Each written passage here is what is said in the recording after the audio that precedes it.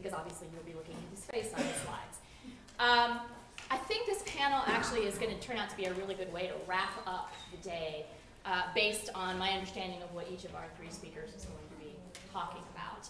You have biographies, so I'm just going to give you a half sentence on each of them so you can be prepared for this panel. We're starting off with Professor Arden Rowell, who's from the University of Illinois. Uh, she's going to be uh, sitting down for the presentation. Uh, and she is going to be talking about the systemic impact if all or lots of public institutions adopt nudging, all right? And so that's another perspective that we haven't had yet today. Uh, our second uh, speaker, uh, Professor Jonathan Klick, who is from the University of Pennsylvania, is going to be talking a little bit more about nudging institutions, all right? And, and, and I'll, I'll leave it at that and let him dig in more. And then uh, Professor Todd Zywicki, who is at George Mason and at George Mason, will be talking about what he described to me as the failure of behavioral law and economics from an empirical perspective, which I think will be, all of these I think will be very thought-provoking. So with that, I will hand it over. Great, thanks so much, Erika. and thanks, thanks, Tom, for putting this all, all together, and thanks for inviting me. Uh, so, uh, so here's the general question that I, am interested in talking about today. Uh, it's really the question of whether, when we're evaluating nudges, whether we should evaluate them differently now uh, than we, would have evaluated them or should have evaluated them uh, 10 plus years ago when Cass Sunstein and Richard Thaler first, first proposed them. And specifically, should we be evaluating them differently now given the widespread adoption of nudges across and, and, and so deeply into so many public institutions? So I thought I'd I'd start off by giving a few possible reasons why I think that indeed it might be reasonable to think differently about nudges now. Um, uh, it might be it might be reasonable to think differently about nudges when they are uh, essentially an entrenched actor instead of uh, instead of a kind of novel newcomer. Um, then I'm going to focus in on one particularly or, or one particular uh, potentially important um, uh, way that I think that nudges are different now than they were in the past uh, which is that as we have more and more of them, uh, basically we have uh, now what I think is essentially a competitive environment where nudges sometimes have to compete with other nudges. And that's something that just didn't really exist uh, 10 years ago, um, back when, when nudges were newcomers. Um, after we sort of focus in on that, I will talk about how it is that we can identify instances of kind of nudge-nudge competition uh, when we see that happening amongst uh, public institutions.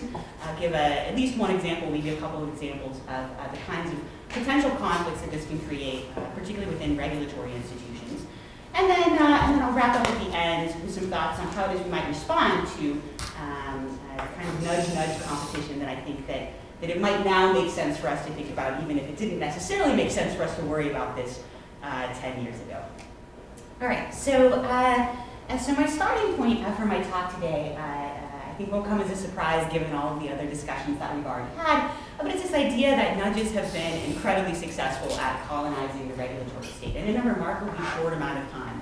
Um, uh, so, uh, so one key piece of evidence of that might be the adoption of the executive order on uh, um, sort of directing federal agencies to start to incorporate behaviorally informed regulation into their decision making, but also we've already heard today about a number of other examples, uh, statutes, etc., uh, that are structured explicitly on, um, on uh, nudge-based, behaviorally informed-based uh, uh, approaches.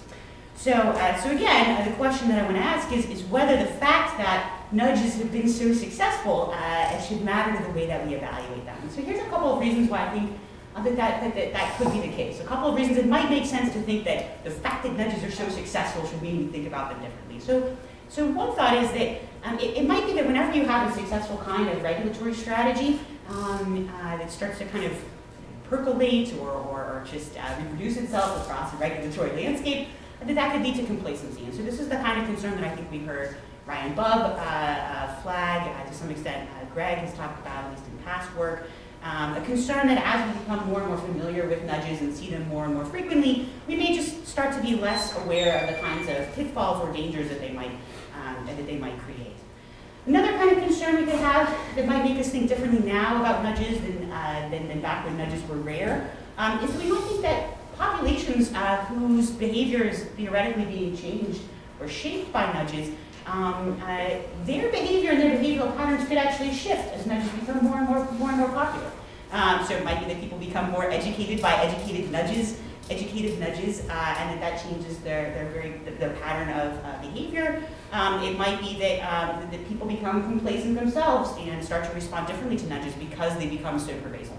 Um, so these are uh, two different reasons that we might think about um, nudges differently now than back, uh, back in the day.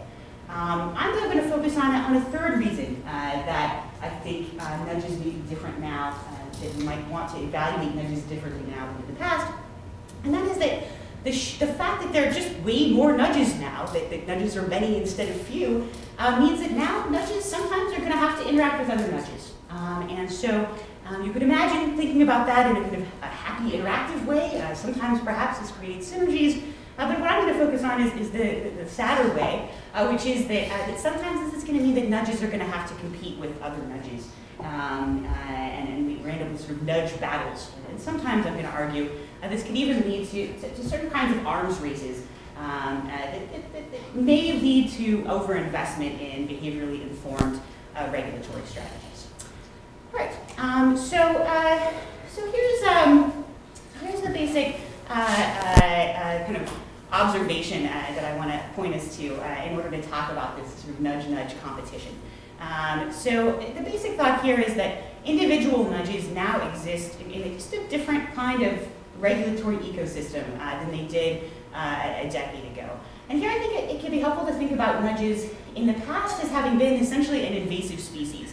Uh, so, so they were they were the, the, the, newcomers to this complex regulatory forest where many ecological niches were already filled. Uh, and in order to kind of find a place for themselves, or find a place for themselves to live, uh, they, they, basically had to outcompete existing regulatory mechanisms. Uh, so they had to outcompete command and control, or pure market mechanisms, or whatever other kinds of tools it was uh, that regulators, um, uh, the entire suite of tools really, uh, that regulators had at their disposal before nudges sort of showed up, showed up to the party. Um, that has largely happened, at least to the point where now much more reasonable to think about uh, nudges not so much as invasive species, but as established species. But as species which now have a space within the sort of regulatory ecosystem, which is relatively well defined uh, and relatively well entrenched.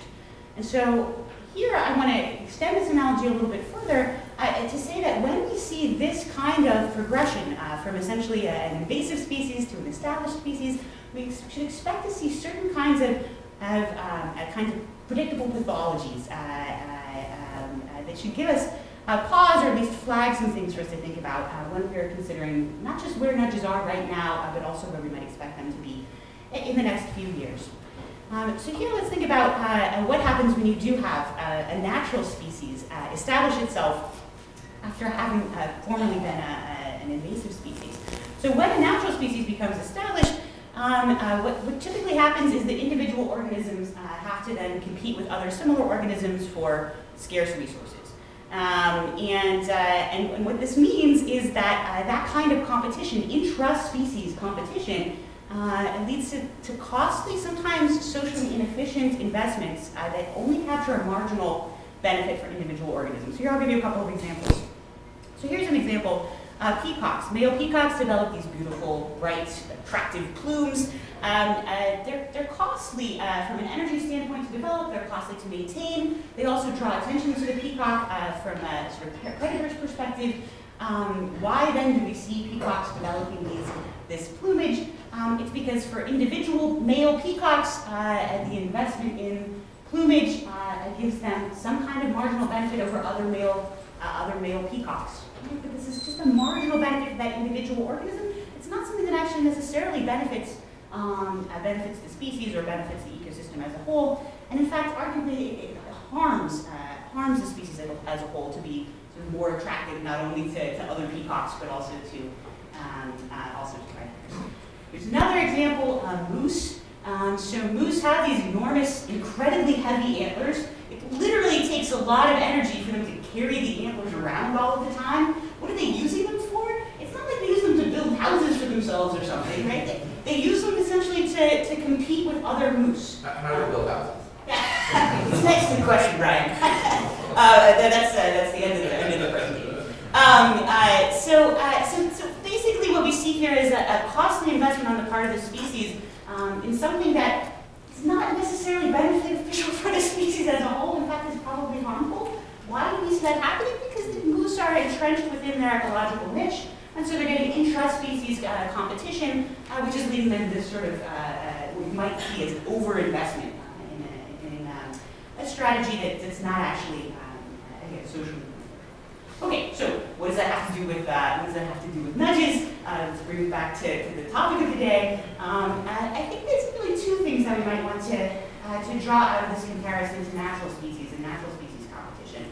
One is that um, uh, we see competition of, of, this kind and other kinds, particularly under conditions of resource scarcity, and, and, and, and, I think we ought to be understanding um, the operation of nudges is also happening in conditions of resource scarcity. So a really fundamental uh, insight of uh, behaviorally informed regulation is this idea that people's cognitive resources um, are limited, right, are scarce. Um, so people have bounded processing, bounded attention, bounded volition, etc. Um, uh, and so uh, that's a form of resource scarcity.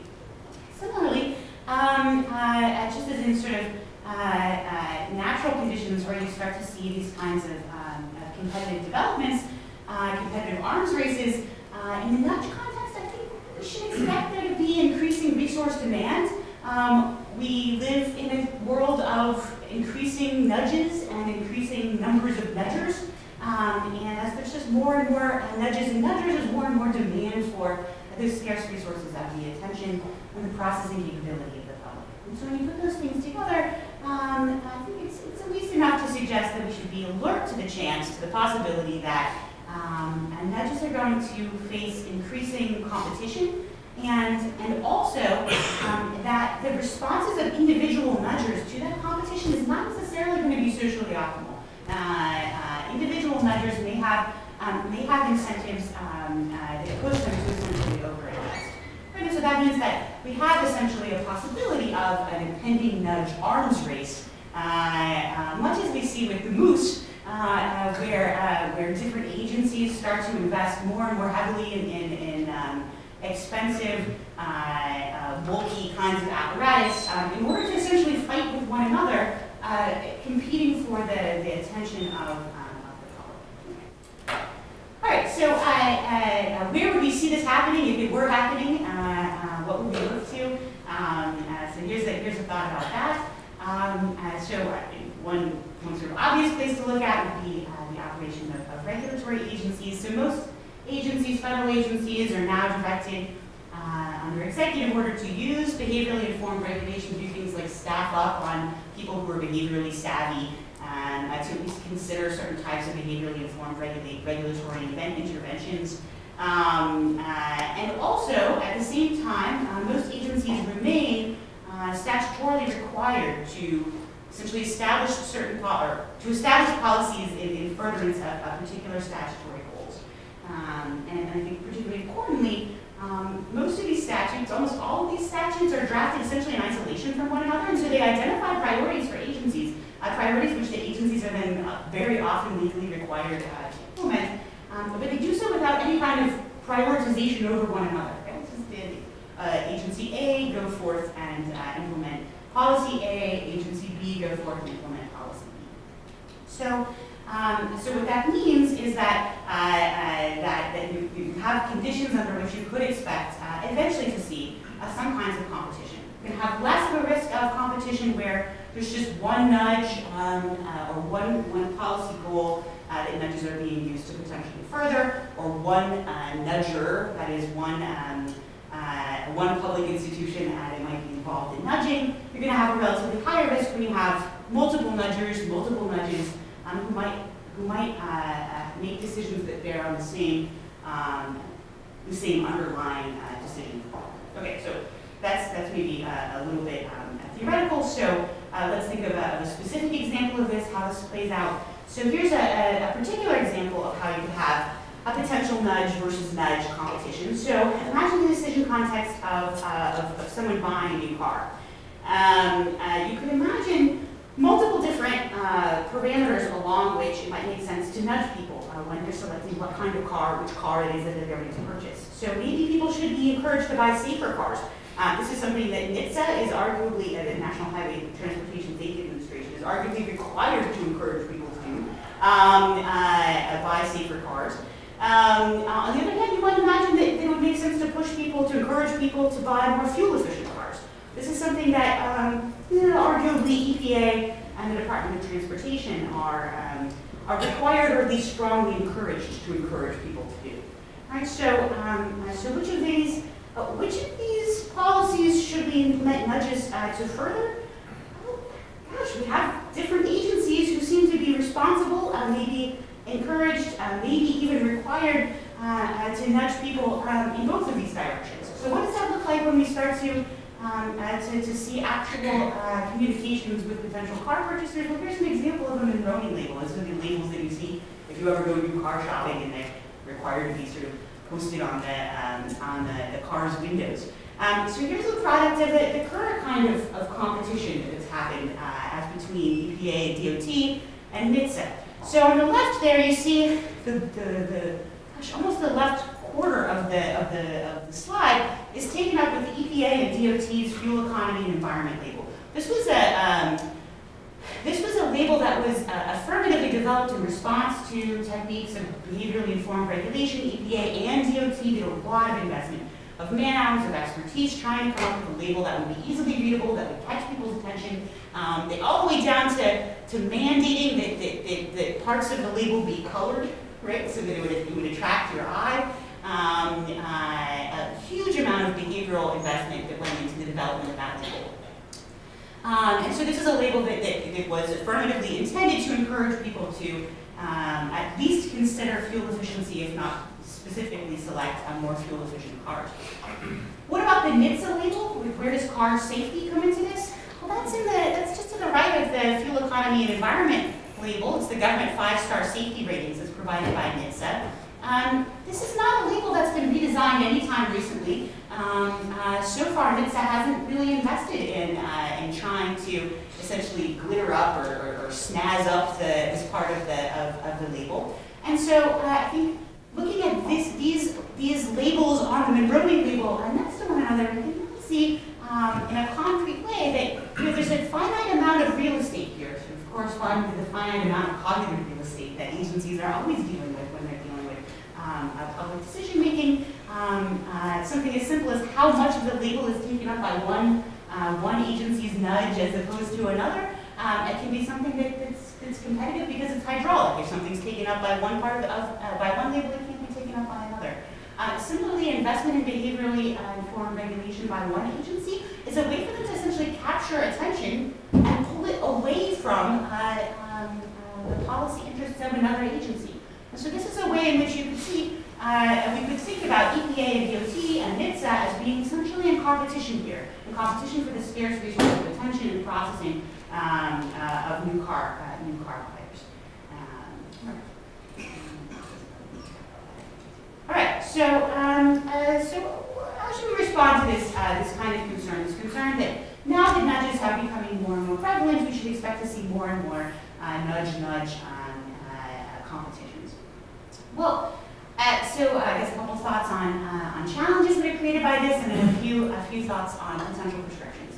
So on the challenges front, um, uh, basically, uh, I guess, um, unless, unless there's some factor that, that, that, that, that should expect us to, to, to, to should, should lead us to expect nudges to suddenly become less popular instead of continuing on their current trajectory, and I don't know what this would be, um, uh, then uh, we ought to expect more and more instances like, uh, like the one that I gave you an example of, where essentially the, the policy goals of one agency, that particularly when these policy goals are enumerated by statutes which don't necessarily refer to other statutes, um, where they might start to, to come into competition. and so I think it's, it's worth flagging that as, a, as a significant challenge.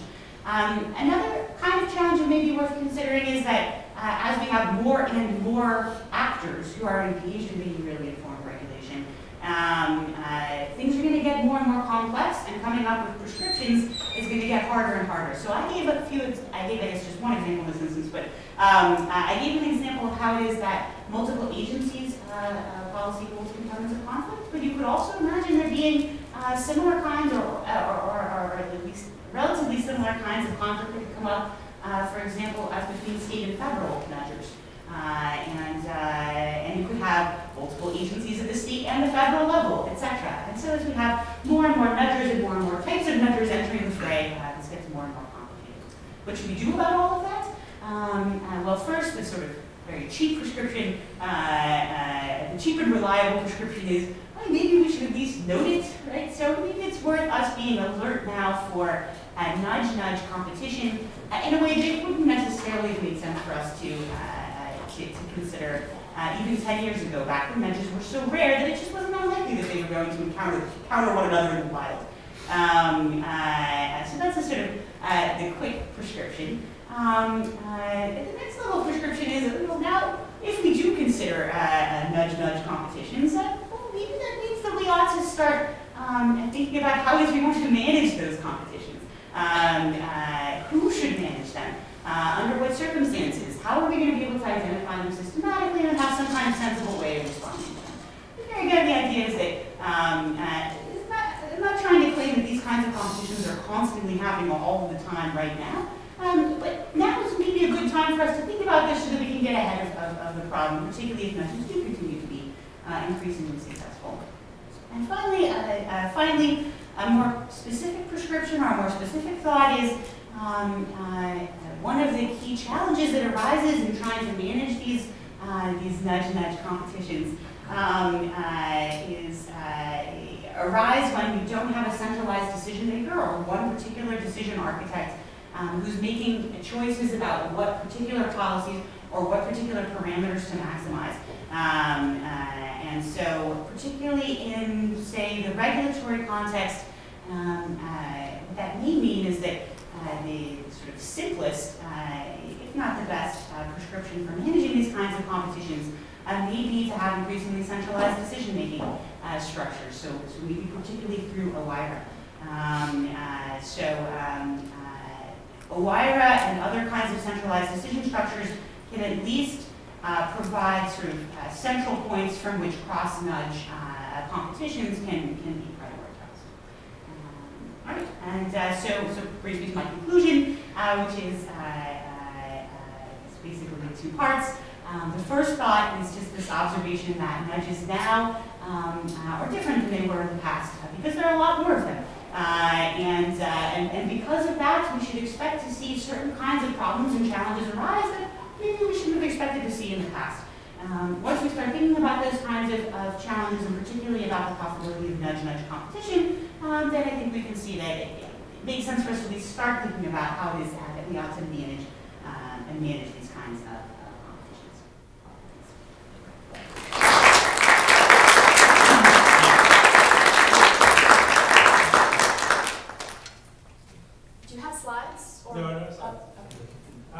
So I tend to think of a lot of this nudging or paternalism, softer or hard paternalism, in terms of uh, internalities, right? This idea that somehow uh, by making their own choice or making short-sighted choices, uh, the, the, current self disadvantages the future self something like that. Internalities are really just a subset of externalities, if we kind of view it that way, and that of course brings me to Coase. So on the assumption that not everyone in the room is a, has been exposed to law and economics, and even those of you who have been, on the assumption that probably you never really actually understood the Coase theorem, uh, that's not a knock against University of Missouri. Uh, Deirdre McCloskey once claimed that there are only six people in the world, including Coase himself, who actually understand the Coase theorem.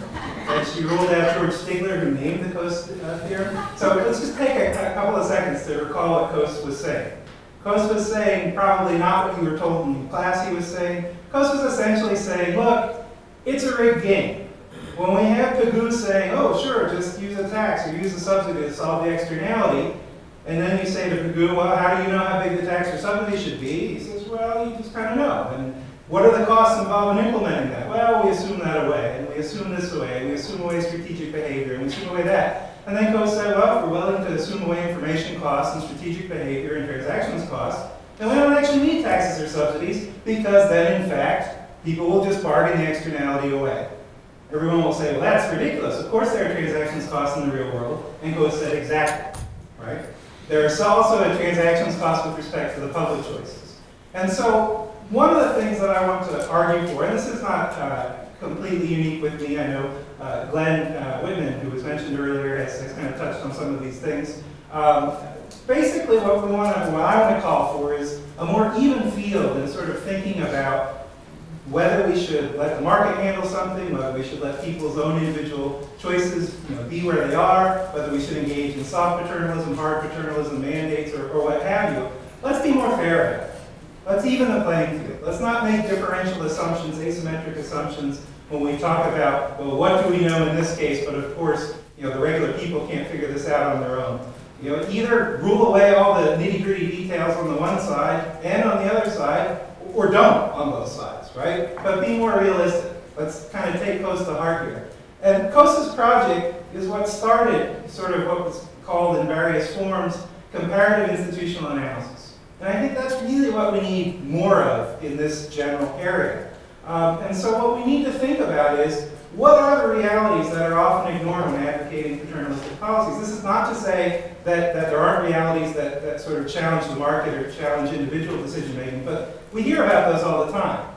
Uh, you know, essentially much of what's been said already today focuses on, well, this is how people make bad decisions and this is how people can't sort of commit to what they want to do. So I'm not ignoring those, right? But I'm simply saying we've already heard about those. Let's think more seriously about what are the similar problems on the side of the uh, of the public uh, folds here. So there's certainly information problems. We talked a little bit about this with, with, with what Jacob said. You know, figuring out what people actually would have wanted is, is, is actually pretty hard. It involves some tricky questions and, and some really sort of extreme uh, information uh, requirements. And, and this is at, from the level of kind of the, the, the nitty-gritty technical all the way to kind of sort of big picture trade-off questions. Right? So on nitty-gritty technical stuff, um, there are such things as, as effect heterogeneity, preference heterogeneity, that actually, we don't actually understand all that well, quite frankly. Most observational studies, so the kind of studies that, that guys like, like me, or in fact Ryan or, or Jacob do, um, at best, if they're kind of done right, they identify average effects, right? Uh, what does average effects mean? Well, who knows? Uh, we've got to worry about causality, we've got to worry about those things. But even if we rule out all those kind of hard to figure out stuff, they still generally only tell us average effects of the treatment on the treated. How do we extrapolate that then to say, okay, we learned this in this study, now let's go apply it to everyone?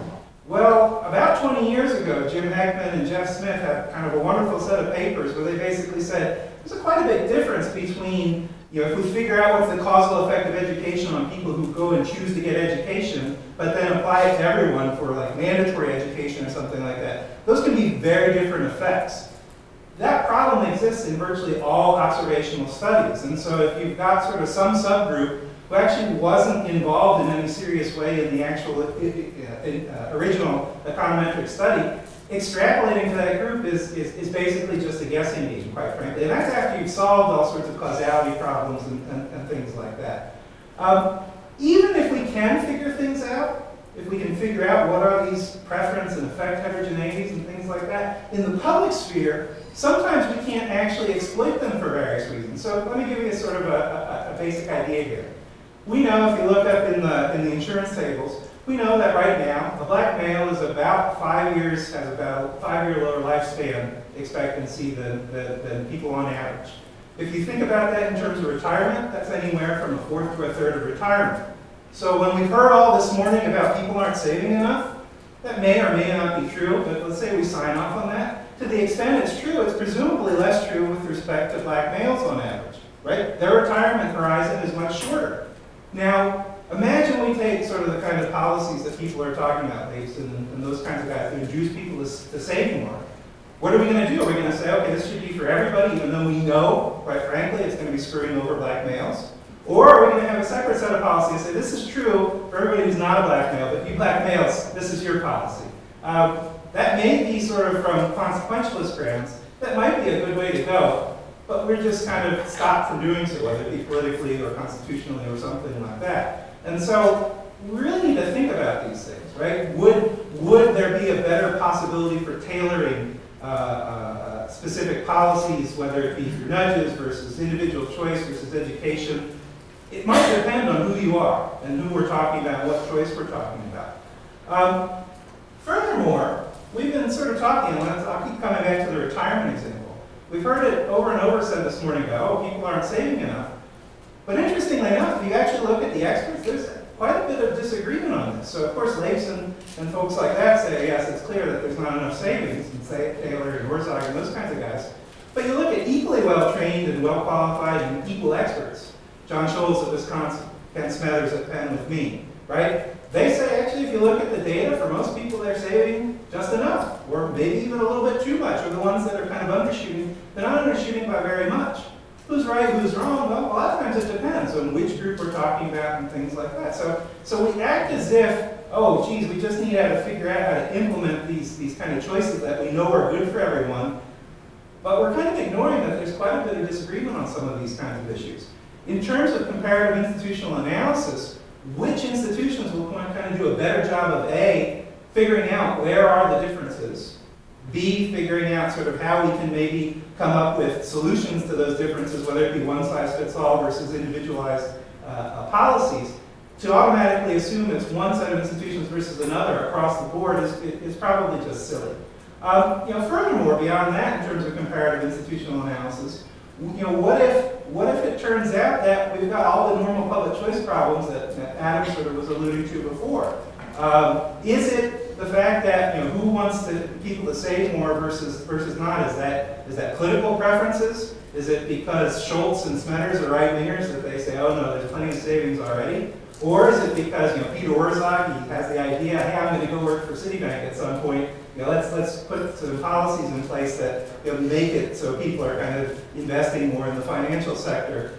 Those are problems that kind of public choices have kind of flagged for us forever. And we ought to take them seriously. We ought to not act as though, well, we presume the best intentions on, on, and the best kind of abilities on guys like Peter Orszag's part or Ken Smetters's part. Right? Instead, we should take it seriously and think about which institutions are most susceptible to those problems and which ones aren't, and what the magnitudes are, and make our choices uh, institutionally accordingly. Um, and so, you know, of course, I don't, again, I don't want to point out, I don't want to say or imply that these problems are specific or they're only problems with respect to the public institutions. Of course, there are private problems as well, there are market problems as well, but again, we ought to think about this in sort of a more uh, fair way, okay? Now, when we think about this comparative institutional analysis, we want to try to think about you know, questions like where are the information problems worse? Um, even really smart technocrats who are really well-intentioned, I'm sad that he left, Cass, you take him as our poster boy, a smart, well-intentioned technocrat, make mistakes.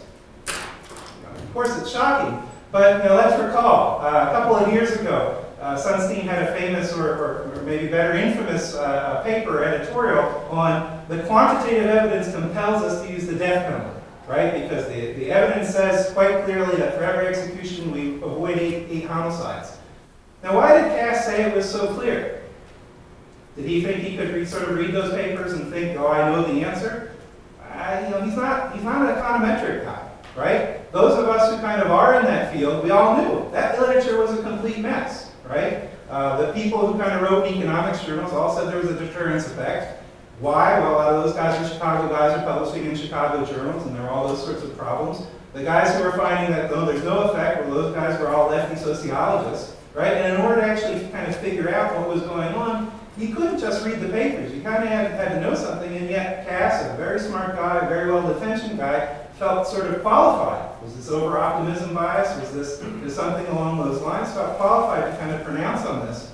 Um, is that the case that those kinds of problems arise more often in sort of a bureaucratic, uh, uh, political institution type of setting versus a market setting? We ought to, we ought to think seriously uh, about those things. Um, we also ought to think about where are the feedback mechanisms better? Uh, where are they more likely to lead to error correction or error minimization? So we might worry that profit motives uh, lead to compounding of errors in some instances, but improvement of errors in other instances. Same thing with election motives. Same thing with individual responsibility and, and, and learning. It may be a different answer depending on what setting we're talking about, what kind of decision makings we're talking about. Um, specifically, just to pick on, on, the, on the paternalists, uh, it may well be the case that opt-outs for political reasons, actually, with the best of intentions, we start out with them, but eventually they get weeded away. Why might they get weeded away? Well, You can tell sort of Arrovian stories, sort of, you know, Dick McKelvey stories that say, you know, we can start out where everybody kind of agrees that you should have uh, smoking sections in restaurants where people can choose. But then after we get kind of used to that politically, there's less of a, you know, less of a, a fight against the moving to bans on smokings in restaurants. And once we get used to that, there's less of a fight to, to, to stop, you know, smoking in bars right? If you go back 40 years ago, the idea that, that, that you wouldn't smoke in bars, you know, a lot of people would say, oh, we'll fight that left and right. Well, maybe because of these sort of uh, incremental movements, not because anybody learned anything, but just because of sort of political economy, changing coalitions, those sorts of things, there was less resistance to it. And, you know, should we presume that smoking is bad for everyone? Well, who knows, right? There's lots of stuff that are bad for us. You take it all away, and life might not be all that fun to live regardless, right? You might say this is crazy. Where does this slippery slope end? Of course, these are, these are ridiculous arguments. Well, the bans in bars then moved to bans in public spaces, and then moved to potentially calls for bans in private spaces. You know, these are serious issues that we need to sort of worry about. We can't just wave them away with sort of this is jumping on slippery slope arguments. These are political economy arguments that, that really could be sort of quite, quite, quite important. Also, you know, talking about sort of the last talk, um, what if we've got mixed goals, right? What if we have, you know, for one reason we want to induce people to save, but for another reason, say 2008, we decide that people are saving too much. You know, how do those things interact? And, and does the public sphere take care of that better than the private sphere or vice versa? Should we worry about those sorts of things? What if it's even more invidious than that? Uh, in, all those of us who in the room are economists. You know, most of the stuff we learned in macro was about timing consistency problems and things like that. What if we induce people to save a lot, and then later on we say, hey, it'd be really nice to take that money as taxation? You might say, well, that's crazy talk. Nobody could ever do that. A couple of years ago, there was some talk about rating 529s, right? Um, it could happen. Now, whether it's likely to happen or not, we should think about those problems. What are the safeguards in place? Uh, these are the kinds of comparative institutional uh, uh, analyses that I, that, I, that I think we ought to take a lot more seriously. At the end of the day, how do we do this? Well, we need a really serious and fairly expansive cost-benefit analysis. Um, we need to, to, to, sort of make sure that the, that the data that we're using are, are actually kind of supported. Um, so one of the first times I ever wrote in this area was a little piece where, where I sort of attacked Russell Korobkin where I said basically this whole literature is a lot like, here we had a test of the standard neoclassical model and it failed, so that means we win. Well, no, that maybe means that we've revised both sets of models, right? It may well be that neoclassical model with option values or with transactions costs does a better job than the behavior model. It could be that the behavior model does a better job. But we really need to do a lot more serious sort of testing of these things. And we need to sort of focus a lot more on the field experiments and the observational studies, and to a lesser extent the lab experiments for all the kind of, kind of standard reasons. Um, one last thing that I want to sort of draw everyone's attention to is we may think, well, now we are getting field experiments, and, and so maybe that problem's getting handled. Sure, and once we've got really good field experiments, we can, we can start doing this cost-benefit analysis. But I'm not so sure we're, yet, we're there yet, even though we're running a lot of these field experiments. There's a wonderful paper I recommend to everyone uh, that John List just posted, where he basically says, and he, and he uses his own work, so it's a nice, a nice thing about it. He says, guess what? All of us running experiments, whether they be lab or field experiments, we all sort of forgot that uh, you know there are these multiple hypotheses problems, right? That is something called a false discovery rate. You look at 10 million different results, and a lot of them are going to look you know relatively big just by random chance. You know, I saw a lot of multiple comparisons in Cass's sort of lunchtime talk, quite frankly. Uh, we ought to make sure that we're kind of doing things in a methodologically serious way. And then we can plug all this stuff into a very expansive institutional cost benefit analysis. And that's where I think we ought to be focusing our attention. Thanks.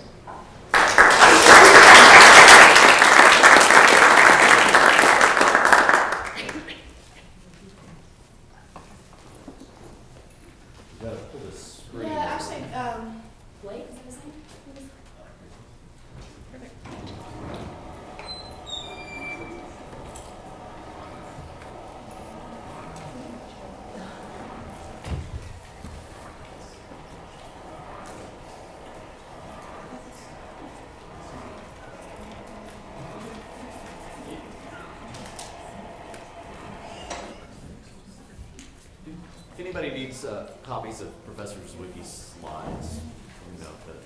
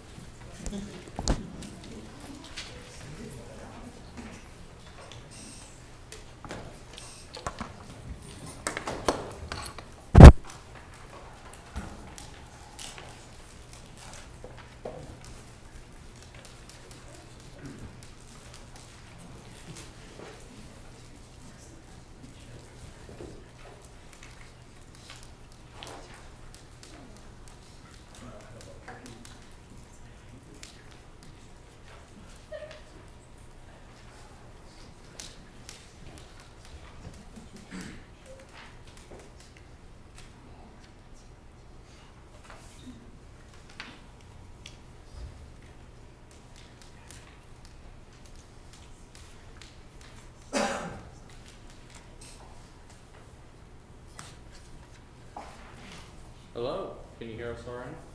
We can't hear you yet.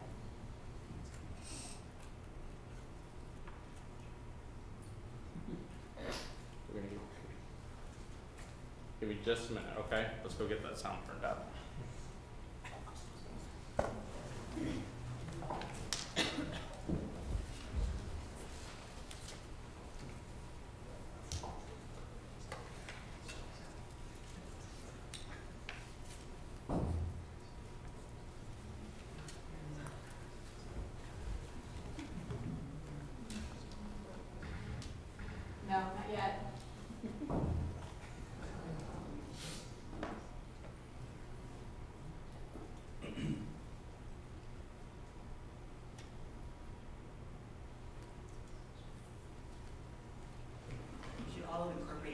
Incorporated a portion.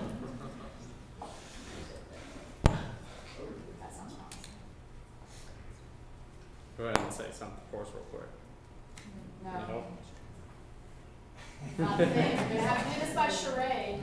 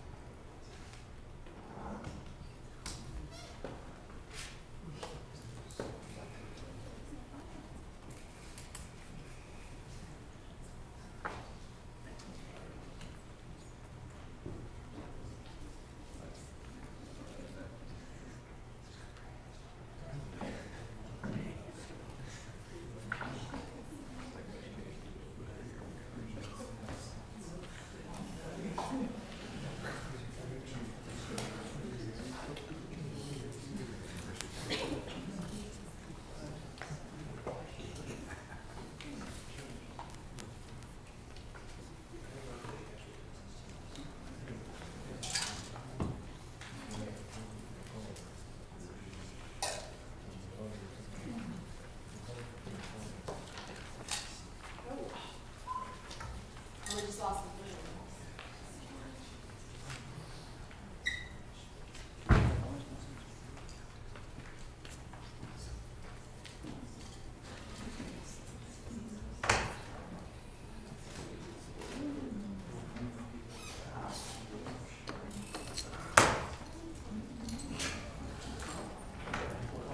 I have Windows update that knocks the speakers out for a while.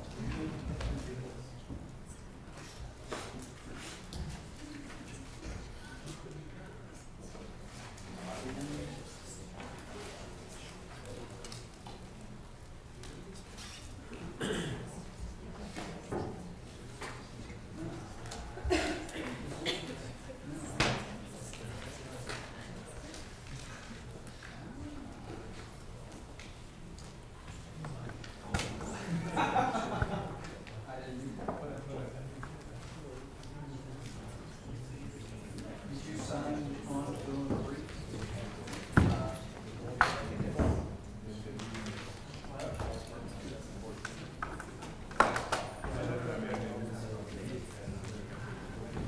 We're still working on it.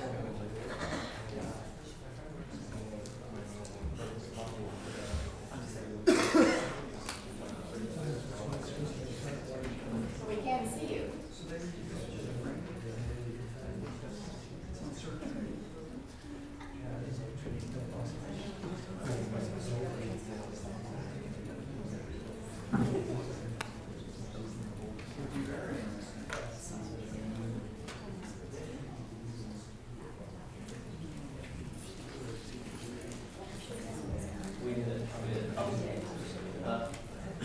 Just this room, I think so. we can go into another box.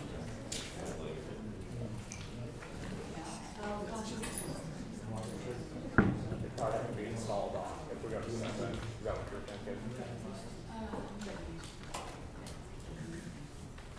Can you just have him call in? You don't have to see him. Wait, can- yeah, is there a way? Back to is best. his audio?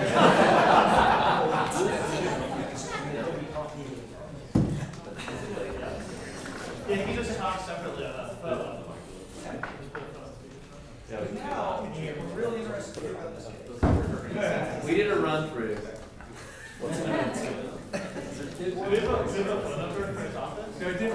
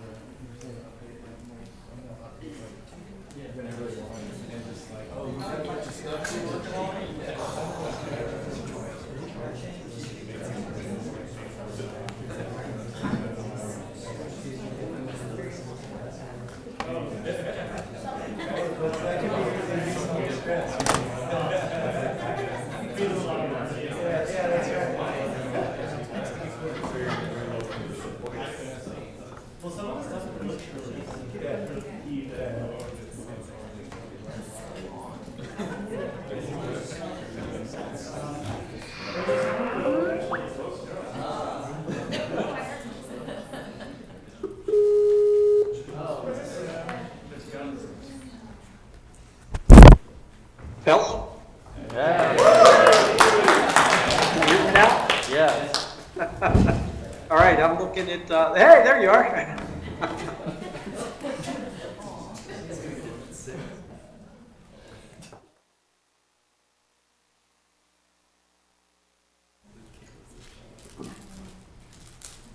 All right, technology. It's awesome. Everybody can hear me, yes? All right. Should I go ahead and just jump in? All right, well, I've been uh, watching online for the live stream uh, since uh, partway through Cass's lecture and um, the first couple panels. So I appreciate, the, sorry for the technological problems, but I appreciate the opportunity to be there with you guys today. And um, I'm sorry I couldn't be there. Um, I have a, have a program today for judges for the Law and Economics Center. So realize this isn't ideal, but I appreciate the opportunity to talk to you this way. Um, so focus of my remarks today, um, I'm going to really focus on this case that's been taken by the Supreme Court recently, uh, just in the past couple of weeks, called um, uh, Expressions Hair Design versus New York. Um, and it's a um, sorry, I had to turn off the, um, the live stream. It was running in my background. So, but but more generally, what I want to talk about is uh, the general uh, failure of the uh, behavioral law and economics uh, imp- uh, empirical research program as it's applied to consumer credit everywhere that it, that it's happened.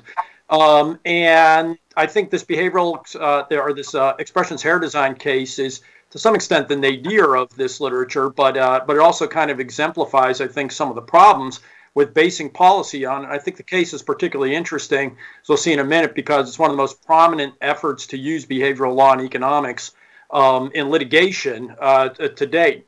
So uh, you should have a handout of my um, my remarks uh, uh as a flip uh, as a flip. So I'll try to remember to tell you when I'm uh, turning the page so that you can follow along because I want to be able to put some of the quotes in front of you and that sort of thing without having to read them extensively. So so flipping over to um, uh, page two then uh, is the, the quick background here, which is um, what's going on with the, these cases. Uh, Expressions Hair Design versus Schneiderman is one of just a couple of um, a couple of uh, cases that we've seen. And basically, the history on this is that uh, back in the 1970s, Congress passed a law that requires uh, card networks to allow merchants to give cash discounts on purchases that they make. So you can, um, so for example, many of you've probably seen at gas stations, for example, they'll often give a cash discount, um, have one price for using a card and then a cash discount. Federal law requires that. Federal law for some time also prohibited um, surcharging of credit card payments. Um, and they did that for a few years, and then finally in 1984 that lapsed. It didn't really matter because um, at that point the networks had entered into, as part of their merchant contracts, they had, um, uh, uh, as part of their contracts with the merchants, they all they prohibited surcharging anyway. So the issue was kind of dormant um, uh, during this period. Around that time, about 12 states passed laws prohibiting surcharging, nonetheless, after the federal uh, uh, ban lapsed, including a bunch of big states Florida, Texas, California, New York, most prominently. Um, a couple years ago, 2013, they settled the uh, a class action litigation involving interchange fees, and as part of the settlement, um, that provision in the merchant agreements that had prohibited surcharging was struck and now under and so uh, they eliminated that from the merchant discounts. The effect of that was to bring back to life essentially these um, uh, these state anti-surcharging laws, and soon thereafter lawsuits were filed in a number of states challenging these by a group of merchants. So turning to the next chart then, and just sort of highlighting it here, which is what I think is striking about it is if you read the lower court opinions um, uh, especially some of them, such as Ju- uh, Judge Rakoff's opinion in the Southern District of New York, uh, refers to this behavioral law and economics uh, uh, literature. Um, even some of the cases that do uh, that do not agree with the merchants still take for granted the validity of this underlying literature. And in support of the cert petition by the merchants, there was a, a brief of a sort of self-described brief of behavioral economists where they argue uh, that the Supreme Court should take cert.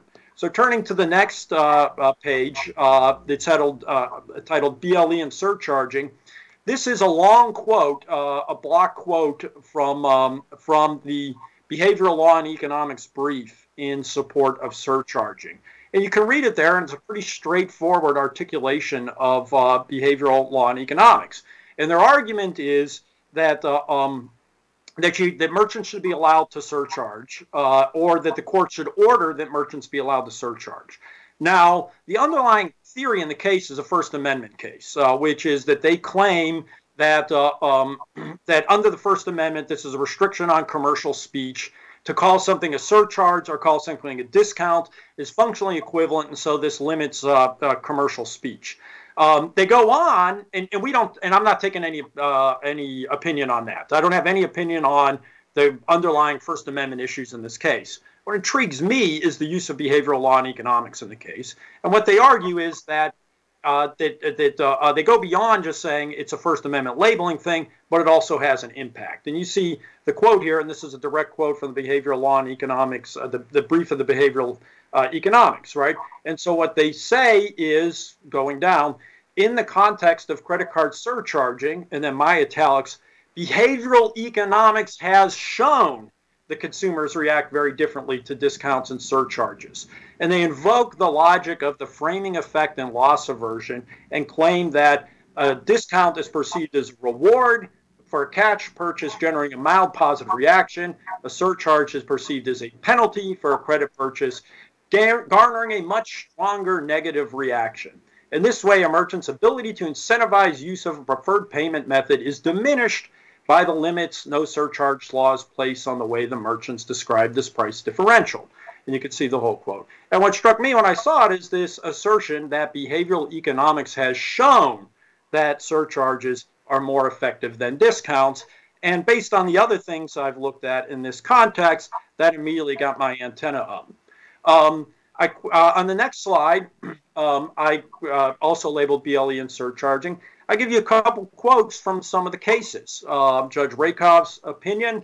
Um, uh, plaintiffs want to impose credit card surcharges on cash discounts and so inform their customers precisely because consumers are more likely to notice the fees, dislike them, and switch to cash in order to avoid them. We see the Second Circuit echoing the same uh, uh, idea we see the Eastern District of California. Not and all they're not always endorsing this opinion. Judge Rakoff clearly is if you read the opinion. The others are just taking it uh, is is granted and is established science even when they disagree. So, going to the next slide, then this immediately made me think about a lot of the other behavioral law and economics research. And now I want to distinguish here between behavioral economics and behavioral law and economics. I understand the behavioral economics uh, uh, research uh, program, the things that are done in the labs and that sort of thing. And that is what it is. I think some of the early decisions are uh, open to some question, uh, but, uh, but that's not what I'm really that concerned about. What I'm interested in is the behavioral law and economics methodology that I've also referred to as the just so stories methodology of behavioral law and economics, where they take a plausible insight and a plausible insight from behavioral economics and simply assume it describes the world and then base uh, base policies uh, on that. Now, what's striking to me is if you look at, and it's been very actively applied in the context of consumer credit and consumer credit regulation, if you actually look at that um, in detail, though that is uh, that research program has been universally uh, repudiated when you actually look at the uh, the studies. So in the next couple slides, I just give a couple greatest hits. I'm not going to go into detail about this, but it's kind of flag a couple of the, the things that I've seen that kind of prime the pump for this issue. So looking at uh, credit cards, uh, which is, of course, sort of the paradigmatic example of this, um, and then turning over the next page talking about hypotheses, we describe the sort of standard behavioral law and economics hypothesis that consumers overborrow uh, and underestimate their likelihood of uh, revolving. And um, uh, and uh, uh, and we see some of the quotes that uh, say that. Now, frankly, I kind of got tired of people pretending like this was an empirical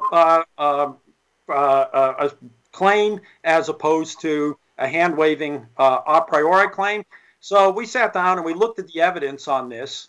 Um, and in this article that I cite, uh, we go through and test 12 different hypotheses from behavioral law and economics to see whether or not the behavioral law and economics uh, hypotheses are, are valid.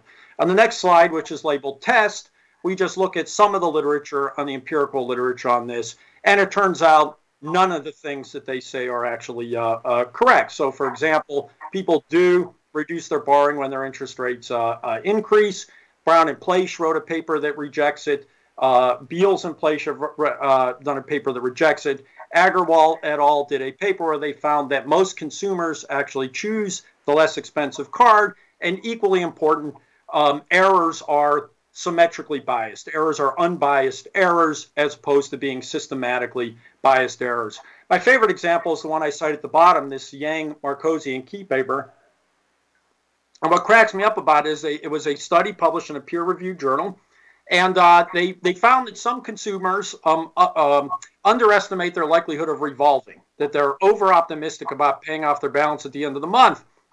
So I wrote them an email and I said, well, how many people were under, opti- uh, under optimistic? How many people thought that they were going to um, uh, revolve but ended up paying off their balance at the end of the month? And I kind of expected what the answer would be, but then they gave me the answer, which was, we didn't think to test that. We didn't think to ask that. So, kind of standard in this literature is they simply assumed that the errors were one tailed, that the errors were, were biased, and they never bothered to even check whether or not we had uh, a two tailed error uh, rate here. And it turns out that's what the literature tends to show is that errors are symmetrically biased. On the next page, I have one of my favorites, uh, debit cards, uh, which is a quote uh, uh, from Professor Bar-Gill where he uh, predicts that uh, because of behavioral biases, debit cards will never take off uh, in the United States, um, which um, I just find it amusing because the year that article was published was the year that debit cards passed credit cards as um, the most uh, uh, uh, heavily used non-cash payment system in the country. payday loans, the story is the same. That's the next slide. Ronald Mann's paper finds that most consumers accurately assess uh, how often it'll take them to pay off their payday loans. Again, errors are symmetrically biased. Consu- uh, economists have always understood that uh, um, that uh, uh, consumers make errors. The behavioral economics uh, law and economics program rests on the idea that people make systematic errors, not just merely errors. And Mann rejects that in payday loans. Same thing with retirement saving. Yes, perhaps some people undersave for retirement but a lot of people oversave for retirement, and most people seem to save the right amount for retirement, based on the research uh, that we have, which is a huge number of people save a lot more than they need to retire. And in fact, on average, wealth increases in retirement in the United States today because people don't anticipate how much their living expenses are going to decline after they retire, basically because they substitute home uh, production for outside production. Uh, and here is an article that I have forthcoming on this particular uh, topic. The other thing that's interesting about retirement savings, if you ask people, most people do save for retirement. Those who don't, it turns out the reason they don't save is because they don't have enough money or they save for retirement in other ways. Um, uh, um, or they're paying off other debts, such as consumer debt. Um, and so it's hard to say that they should be saving more if they have credit card debt or student loan debt or something like that. Uh, and that's what that's what consumers express as the reason they don't pay more. Talk about the next slide is called just a nudge. The other reason we don't think about is well, what would it take to cause somebody to, to save more? The only way people can save more is do one of three things, which is they can either consume less today and on the life cycle model, that's not efficient for most people. They could work more today and make more income, but the only thing that people say more often that they should save more is that they wish they worked less. Um, so that doesn't seem like it's going to increase welfare. Or they could borrow more, uh, which is that, as we were just talking about, they could continue to use consumer debt while they save. So it's not clear we're going to make people better off. As Jonathan just mentioned, as I talk about in the paper, it may also be that people are rational under savers. It turns out those who don't save a lot of, for retirement are also people who tend to smoke. They don't exercise. They don't eat healthy. They work in dangerous jobs. They die before uh, retirement age. Um, and it's not clear that forcing them to pay save more for uh, retirement they're never going to enjoy is necessarily welfare maximizing as well. So let's turn to surcharging then against this backdrop of the largely the failure of the uh, BLE uh, empirical research program and talk about surcharging. I'm going to go through some of these and the, uh, literally all the sources that are cited in the brief and in the opinions. First one is this paper by uh, Thaler in 1980. And most of the uh, claims that it's been proven go back to this one quote from Thaler. You see what it is there, uh, which is just speculation by Thaler that the reason why credit card companies um, think that discounts are better than surcharging is for the reasons described there, right? He just claims that this is uh, what it is. Kahneman echoes that in his article about 10 years later. He cites Thaler, but obviously there's no proof there. There's just, uh, there's just assertion. The study they really rest on is a study from the Netherlands, uh, which is the next slide. And you see there, and they rest on this idea that consumers express very negative reaction to surcharges uh, and mildly positive reactions to, um, to cash discounts. Now, I'm going to go into all the detail about this, but one very big problem with this, as we'll see later, is that the reality of surcharging doesn't look at all like the, the imaginary version of surcharging that the behavioral law and economics model conjures up. And I think what they've done is confounded here an abstract view with the reality of how surcharging is actually done.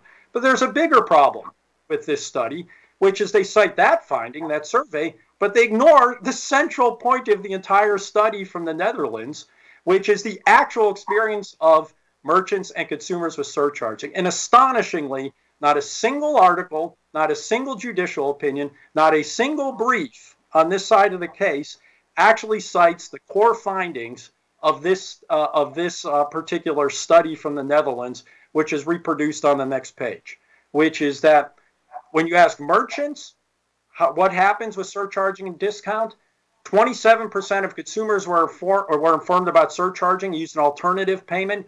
43% of those who were offered a cash discount use an alternative payment. 50% uh, uh, higher uh, um, uh, likelihood. When you ask consumers, consumers say 38% of the time when they were surcharged, they used cash instead. 50% said that they uh, that they switched on their offer to cash discount. This evidence is squarely inconsistent with what uh, the predictions are, but it's squarely inconsistent with the representation, more generally, of what this studies uh, uh, what this study actually says. I also have evidence on the next page from a Phoenix Marketing Survey, which asks consumers the exact same question. If you've been presented with a surcharge and a discount, and consumers report that discounts are more effective than surcharging at getting them to use an alternative payment uh, uh, device, almost twice as effective as surcharging. That is the entire bit of evidence that exists squarely on point of surcharging versus discounting. Now, it may be that someday down the road, this theory of behavioral law and economics might be vindicated. To date, though, to say that it has been shown is simply not a true statement. I think it can be said that we don't know for sure yet. To the extent we have any evidence, it squarely contradicts the behavioral law and economics uh, hypothesis. So let me close with this last bit then. I'm not sure how long I've taken. So why do merchants care so much about surcharging? Well, it's a perfectly good counterexample or perfectly good alternative explanation, which I articulated in a paper with Geoff Manne in 2013. Uh, Jean Tirole uh, articulated in a 2014 co-authored paper, which is really about price discrimination. Which, if you look at how merchants actually surcharge in the countries where they do it, they surcharge on consumers who have no alternative but to use uh, uh, credit cards. So, for example, looking at the next uh, uh page, what do we see where they allow surcharging? They surcharge on things like airline tickets. They surcharge on hotel rooms. They surcharge on online payments. They surcharge in situations where consumers have no alternative but to use a, a card payment. Uh, they surcharge. They don't disclose the surcharges up front. They uh, in in retail stores. They wait till consumers get in. And importantly, the surcharges they impose bear no relationship whatsoever to the actual cost difference between them. They basically surge what the, surcharge what they can get away with, and they routinely and chronically surcharge above cost in the countries where it's actually happened. Surcharging is not used to recoup cost. Surcharging is used to extract consumer uh, rents from consumers who have no alternative but to use uh, uh, uh, payment cards. As opposed to discounting, why don't merchants discount? Because uh, uh, because they can't extract rents from consumers when they discount.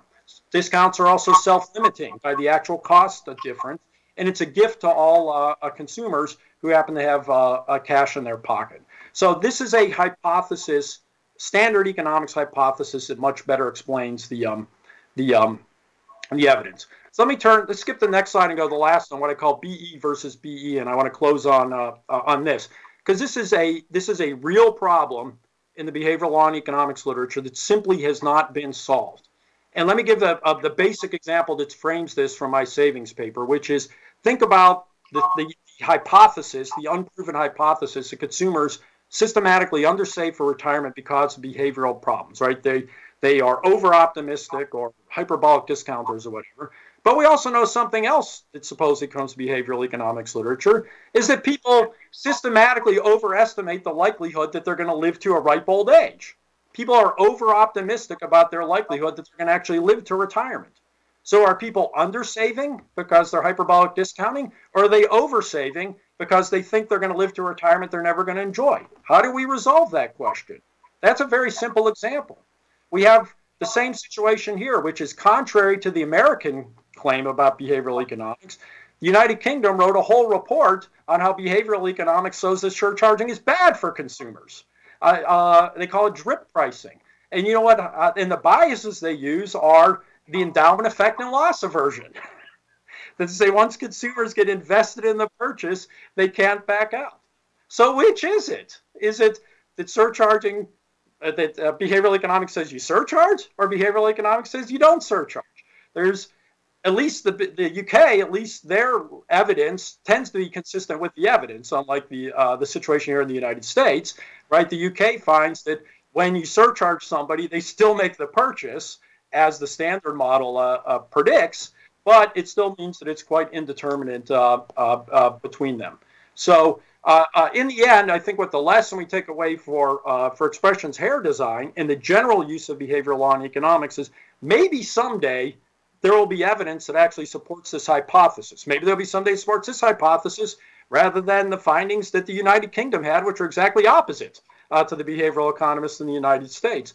But to date, we simply don't have enough evidence of how these things, these theoretical things, work in the real world to provide a foundation uh, uh, for, for policy. And certainly in this case, it seems pretty clear that the standard economic model, that what's going on here is rent extraction by merchants seems much stronger than trying to base policy on some sort of behavioral economics concepts.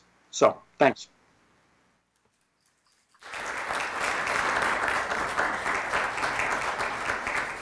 Okay, uh, wonderful. So I think that we have probably uh, 10 minutes for questions still. Um, and uh, you're going to want to speak loudly enough so that if the question is directed towards Todd, he can hear you.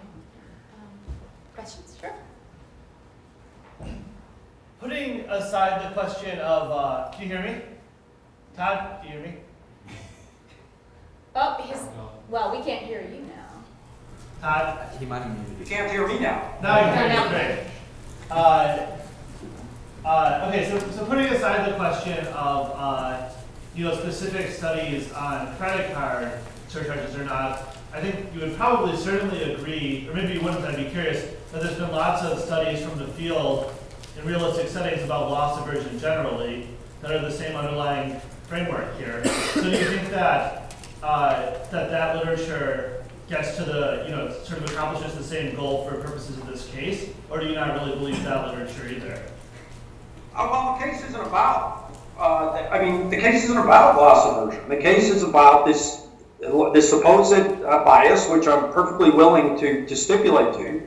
The question that is, that has been put before the court is, or the claim is, surcharging is more effective than cash discounting at getting people to use alternative payment mechanisms. There is no evidence for that claim, and all the evidence is inconsistent with that claim. That's all I'm saying is I'm perfectly willing to stipulate that that's a real thing, right? But the question in this case is the claim is that behavioral eco, but behavioral economics demonstrates that surcharging is more effective at getting consumers to change their behavior from discounting. I'm perfectly willing to believe that surcharging will get some people to use cash instead of credit cards, but it's an empirical question whether it's more effective, and it's just not borne out in the data.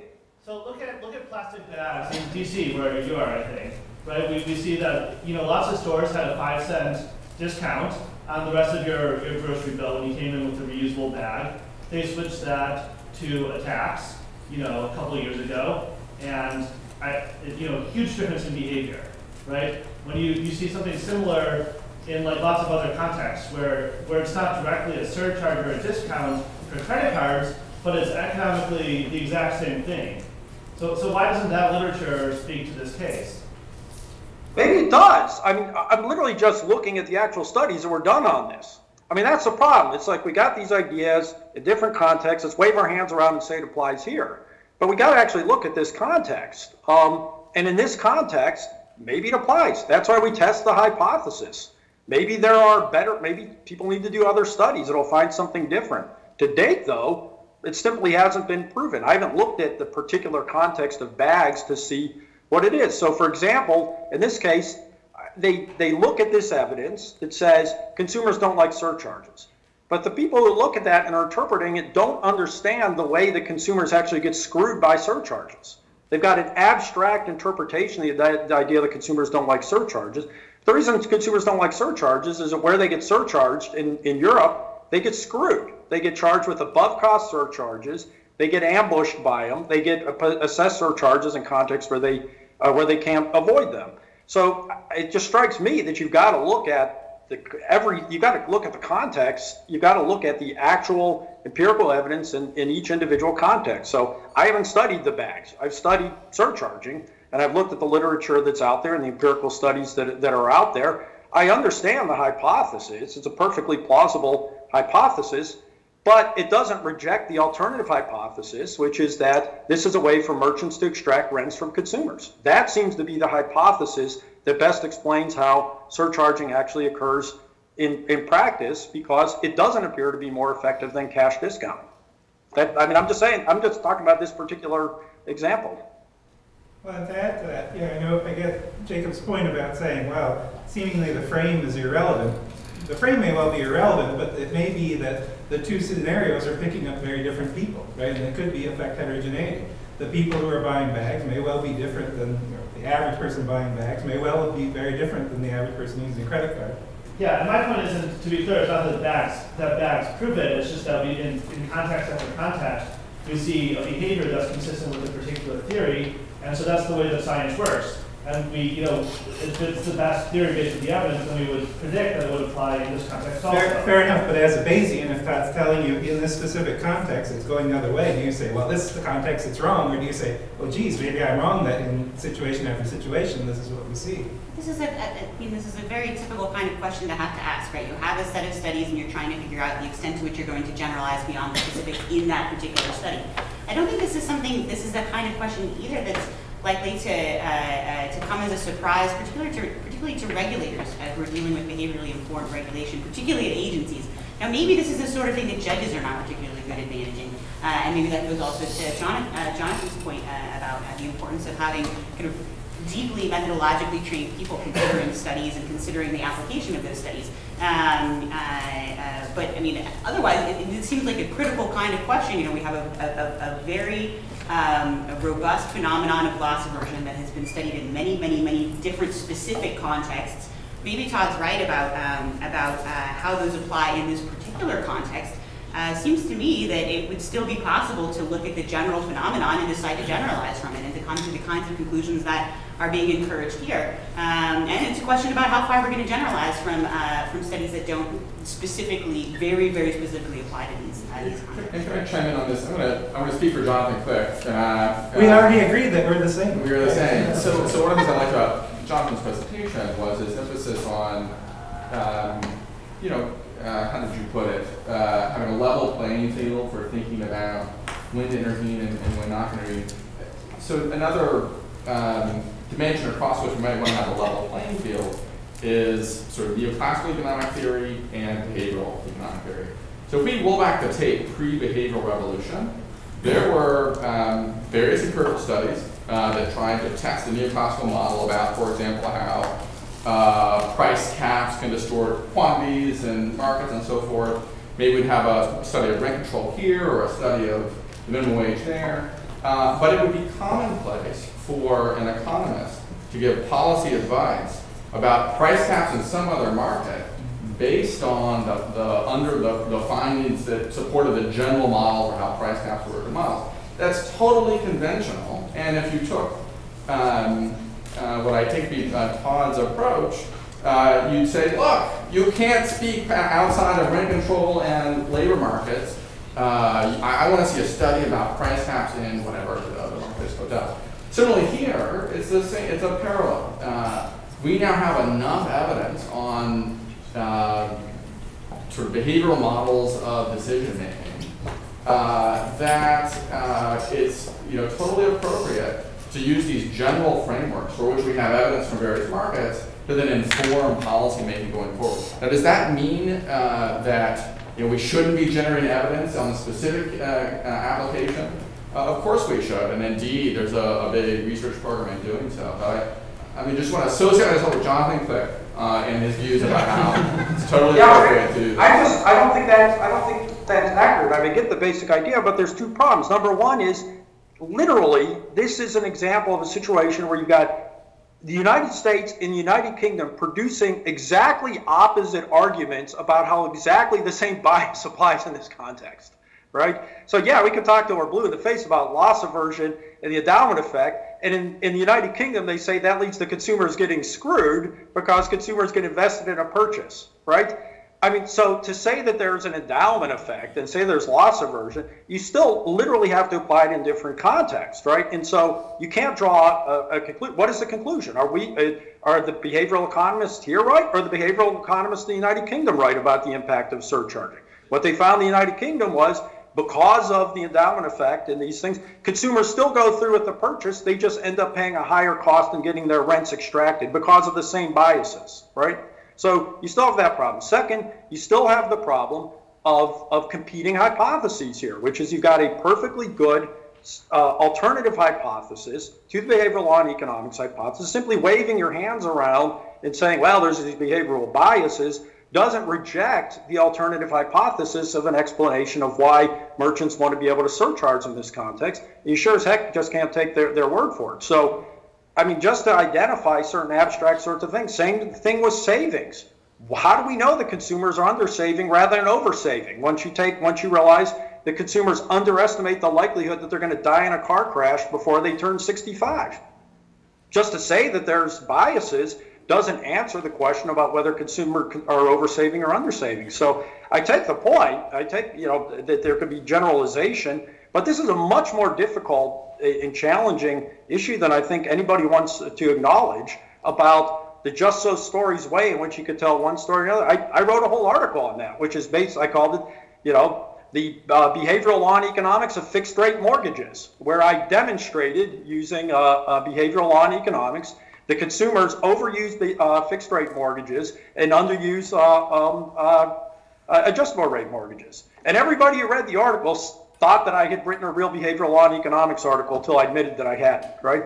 It's easy. Here, grab some ideas, grab some biases, find some consumer mistakes, and now let's explain why we need to upend the entire uh, consumer credit system. I can prove pretty much anything you want me to prove using uh, uh, behavioral biases. And so just briefly, that my is, you can do the exact same moves with neoclassical law and economics. So economics, economic analysis of policy. That's right. Is That's why hard. you have, that's why empirical work matters. Right, and so. That's why you have to actually do empirical work and not just tell just those stories. I agree. Well, Well, this is a weird situation, Jake. I mean, so Jacob's point, in the, in the absence of specific studies in a particular domain, your point is absolutely valid, right? We will extrapolate from studies, not- but it's very odd, and I don't think you're actually saying, Jacob Park, if we have studies. I don't know if I buy that Well, if though in no. this case. Oh, I understand that. No, well, well, I think you and I may read the loss aversion literature different uh, as to how much there is in the wild, but I'll take it. There's absolutely studies finding loss aversion. No, here's my point. We know for a fact framing effects in the classical, you know, loss of loss framing, gain framing. If you look at the meta-analyses from psychology, they're not very powerful effects, and in fact, they're quite, they're, they're, they're huge heterogeneity. So if you frame health, you can get much more effect, big bigger effects. If you frame it in certain domains, you see nothing. And the point is, and this is what I really reacted to. I really think it's inappropriate to think of behavioral law and economics as having discovered trans-situational laws of human behavior because we have not. Within psychology, we have absolutely not discovered these trans-situational laws of human behavior. They're very context dependent. And so it strikes me, and again, I completely agree. I have no idea Todd may be right, or whoever knows about the literature. I don't know enough about the search argument. But if we have good studies in a particular domain, I'm absolutely going to put more weight on those studies than just the general theory, wouldn't you? Uh, yeah, if we, and so I guess that's why I was sort of curious. You know, I think there's two parts of that question: is how good is the background evidence, and how good are the studies in the domain? Right. And in this domain, it seems. I mean, Kyle's looking for this more than I have. My sense is that there's there's not much information there, which is why I was curious about Todd's sense of the background literature. Yeah, I mean, the literature is thin, right? Uh, uh, but that's my point, is it hasn't been shown the other way. I find these things perfectly plausible, and it's not until I actually looked at this that I, that I understood it. Uh, or, yeah, that, that's why on each case, I, I look at it and see whether or not it acts on it. In our book, we talk about the other guy theory, right? Which is, for example, when you ask consumers about how they use credit cards, they say I use it responsibly, but that the other guy, everybody else uses it irresponsibly, right? And so when you look at these things, uh, uh, you know, things that can be intuitively plausible may not actually be the case in, in fact. And so when I looked at these studies, this is literally all the literature I've been able to find on this, and it does, and you know, and it just doesn't, to, to date, it doesn't support the assertion uh, that, that that this this point has been demonstrated. Maybe someday it will. Maybe someday the American behavioral law and economics people will be right, and they'll show that the United Kingdom behavioral economists are wrong about how this uh, works. Maybe they're both right. Uh, but uh, but but right now we just don't have a lot of literature, and this is all the literature that's been cited and all the literature that I can find on these uh, on this comparison. Okay, um, I hate to cut this off actually, um, but I think we probably are, are done in terms of the time we have allocated for this. Uh, I want to take a moment to thank our panelists for a very